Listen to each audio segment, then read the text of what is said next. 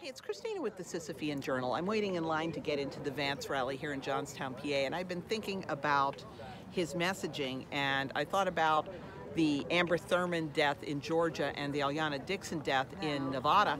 And here we have two cases where abortions were initiated in a licensed facility, but then they just send the woman home to finish it on her own, knowing that death is a possible complication.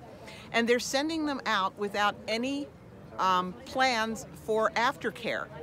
And I think that if the abortion rights movement cares so much about women's lives, they need to be pushing for these facilities to be very clear about what the aftercare is. Are they um, coordinating with somebody in the woman's home area and saying, look, you need to go to such and such hospital because they know how to treat abortion pill complications?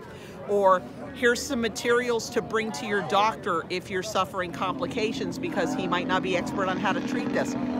So I think we need to be holding them a little bit more respo responsible.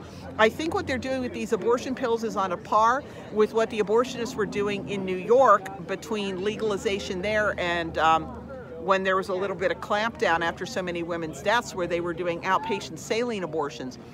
Just injecting them with this dangerous chemical that they know might cause the woman's death and then just sending her home to deal with it on her own. This is totally irresponsible. I think the pro-lifers need to hold the pro-abortion people's feet to the fire and say, you should not be dispensing these drugs if you aren't sure that the woman in question has adequate follow-up set up in her home area.